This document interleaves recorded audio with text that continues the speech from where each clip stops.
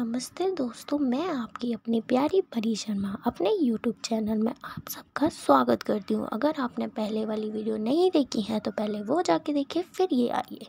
अचानक मुझे नींद आ जाती है और मैं सो जाती हूँ। जब मैं सुबह उठती हूँ, किसी और घर में हूँ। उस घर को मैं जानती होती हूँ।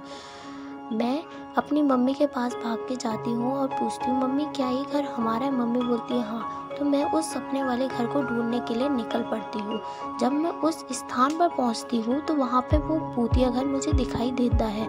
पर वह जितना डरावना सपने में दिखाई दे रहा होता है, मुझे उतना डरावना नहीं होता है, क्योंकि उसमें काफ़ी लोग रह रहे होते हैं। मैं ये सोच ही रही होती हूँ, फिर मुझे पता चलता है कि ये मेरा सपना था जो मैंने देखा था।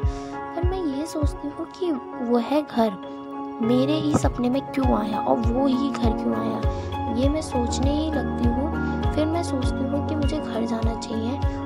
अपने घर लौट पड़ती हूँ। ये एक सपना था और कुछ नहीं।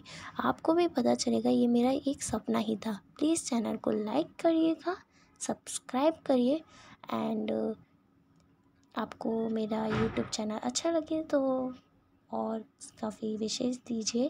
धन्यवाद।